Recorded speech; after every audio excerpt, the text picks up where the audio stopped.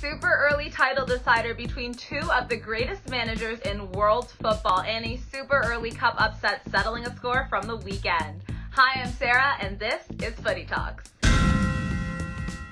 Although the Carabao Cup is decidedly low priority for most EPL sides, the competition has already created some high drama this week. In a rematch of last Sunday's Premier League clash, West Ham took revenge on a Man United B team that certainly won't have given Ole Gunnar Solskjaer any selection problems for the weekend. With the likes of Mata Martial and Donny van de Beek in the lineup, fans can't be too disappointed with the loss. But there is one genuine concern amongst the Man United faithful right now. Where is Jadon Sancho? The young England midfielder was nowhere to be seen in this game, cutting a despondent and peripheral figure out on the left and culpable for his role in West Ham's first half goal. It has some fans asking a terrifying question. Could Sancho become the next Donny? Is he destined for a life on the bench limited to Carabao Cup cameos? For Sancho's sake, we at the Parlay seriously hope not. In a packed weekend of fixtures, Chelsea versus Manchester City is one of Saturday's standout games. This week, we featured two different ways to approach the game, with James Sharman making it his proper match of the week and Albert Vertanian giving us his three picks in EPL Minute. Let's hear from James and Albert now about a match between two of EPL's biggest summer spenders. There are a ton of intriguing matches this weekend in the Premier League, but with respect to the North London Derby, Villa United, and even Leeds West Ham, which should be a really, really good match, by the way. If you only have 90 minutes to spare this weekend, it really should be Chelsea hosting Man City, European champions against English champions, and yes, there's history, because to win the Champions League, the Blues beat the Sky Blues. Of course, remember that? When Pep got it all wrong on the day. The two favourites entering this season, and even now, five rounds into the season, they are the bookies' top two faves. So, is it too soon to call this a title decider? Of course it is. I mean, even if City win, they'll at least be, what, tied for first place? Now, let's all calm down.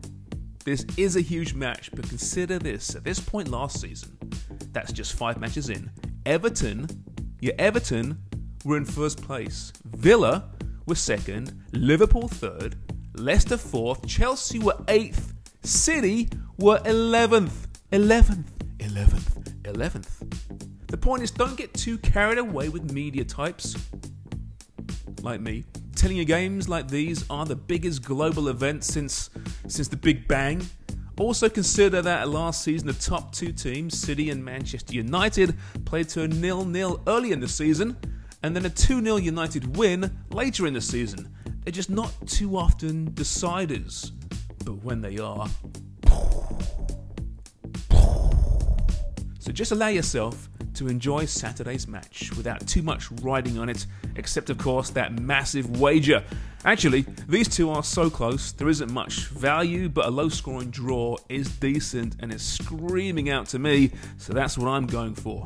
They're only two and a half million pounds apart, but Romelu Lukaku has arguably been the better signing this season so far, and that's because he actually solved the problem that Chelsea had, whereas Jack Grealish joined Man City's roster as one of at least five other attacking midfielders. The Belgium looks like the missing piece in Chelsea's title winning puzzle, and that's why we're picking Chelsea to win this one against Pep Guardiola's strikerless Man City side.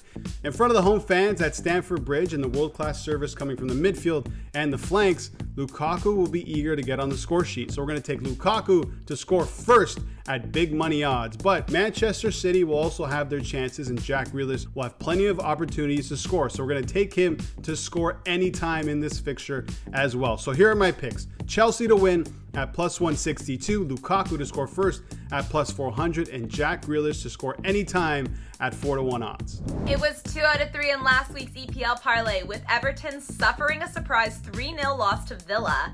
And if you haven't seen it yet, check out our three team moneyline parlay for this weekend's action, including our pick for Sunday's North London Derby. Take Arsenal to beat Tottenham in the North London Derby at plus 125.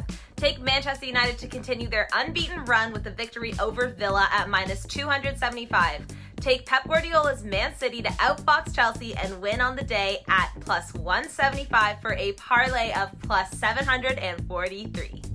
Thanks for watching, and don't forget to follow at The Parlay on Twitter, TikTok, and Instagram. And come see us at theparlay.com.